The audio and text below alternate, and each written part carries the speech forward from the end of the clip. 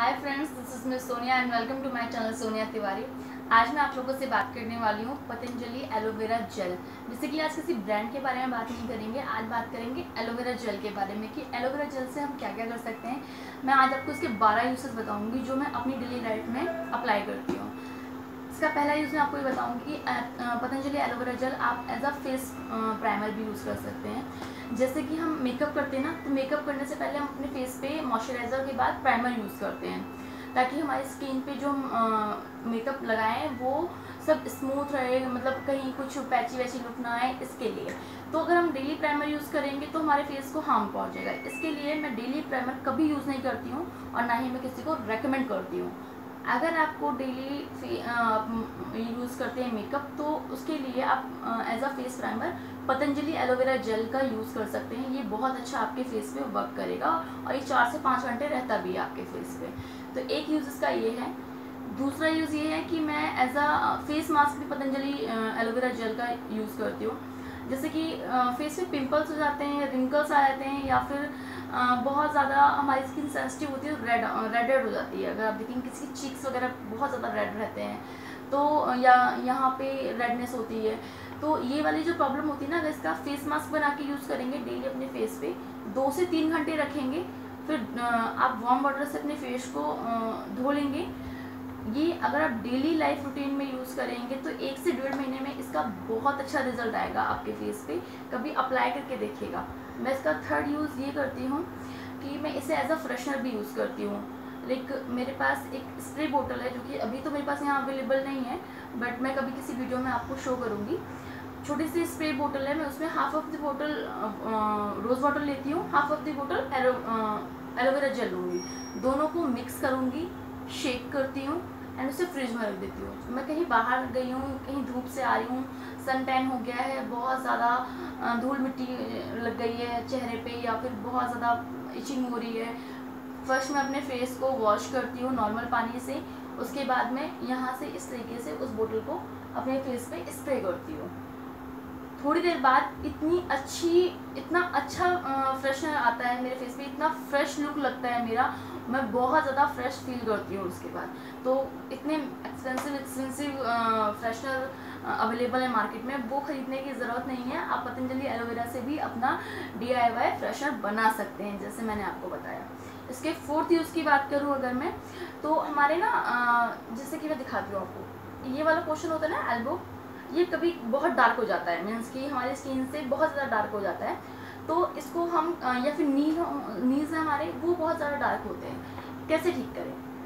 एक लेमन लें, उसको कट करें, दो पार्ट्स में, उसका एक पार्ट लें, उस पर एलोवेरा जेल लें और पर्टिकुलर जो पार्ट है आपका, उस पर आप रब करें। अच्छे से दो से तीन मिनट करें डेली लाइफ में एक से डेढ़ हफ़्ते में बहुत अच्छा रिज़ल्ट आएगा। कभी ट्राई करिएगा इसका मैं जो आपको फिफ्थ यूज़ बताने वाली हूँ ये, मैं इसे एज अ मॉइस्चराइजर क्रीम भी यूज़ करती हूँ। कैसे?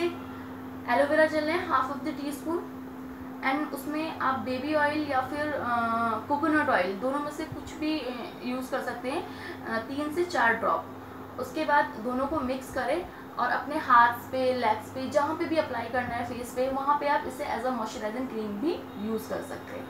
मैं इसके सिक्स यूज़ की अगर बात करूँ तो मैं इसे एज अ सनस्क्रीन भी यूज़ करती हूँ। कैसे अगर मुझे कहीं धूप में जाना है तो अपने स्किन को सन टैन से बचाना है तो कैसे मैं एलोवेरा जेल लेती हूँ। अपने फिंगर्स पे रब नहीं करना है।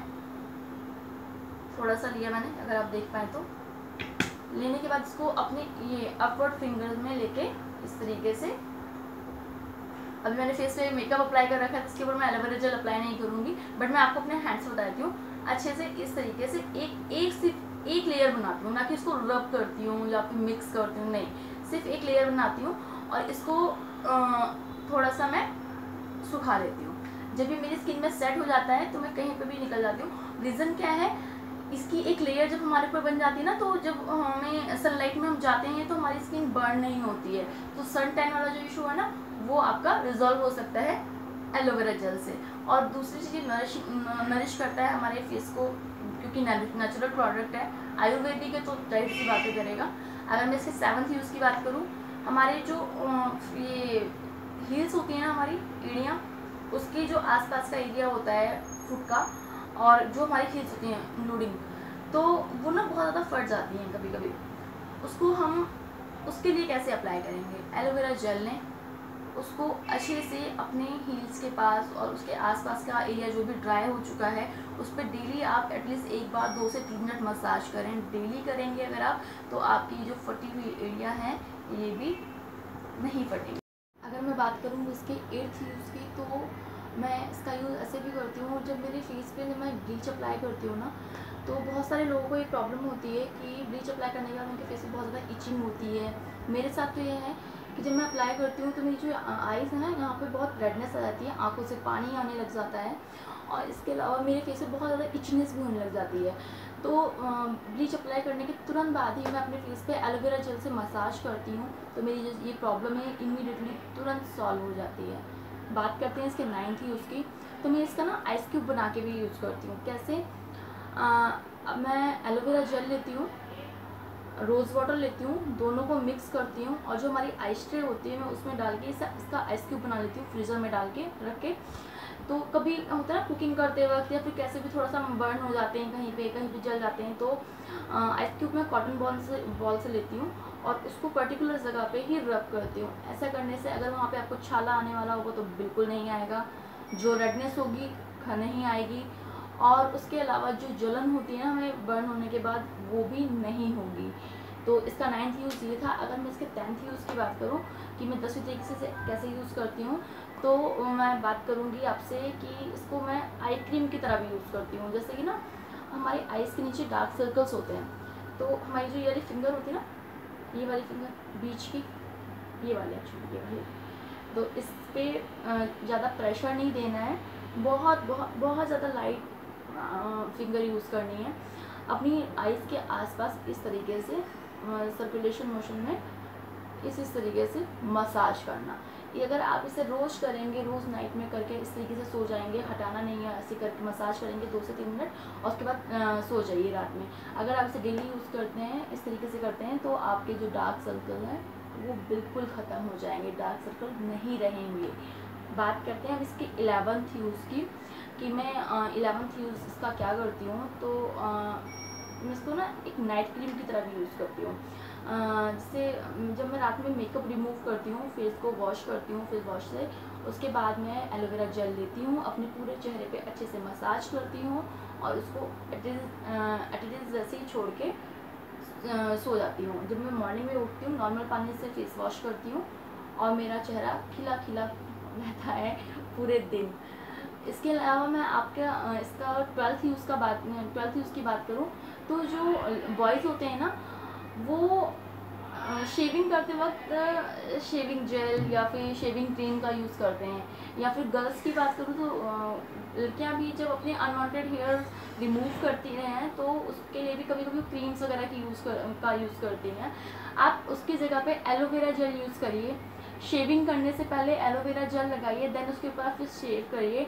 आपको कुछ भी यूज़ करने की ज़रूरत नहीं है, आप बहुत अच्छे से शेव कर पाएँगे स्पेशली गर्ल्स हम अगर रेज़र का यूज़ करते हो अपने अनवांटेड हेयर्स को हटाने के लिए, हाथ पे अंडर आर्म्स में तो वहाँ पे आप एलोवेरा जेल यूज़ करें।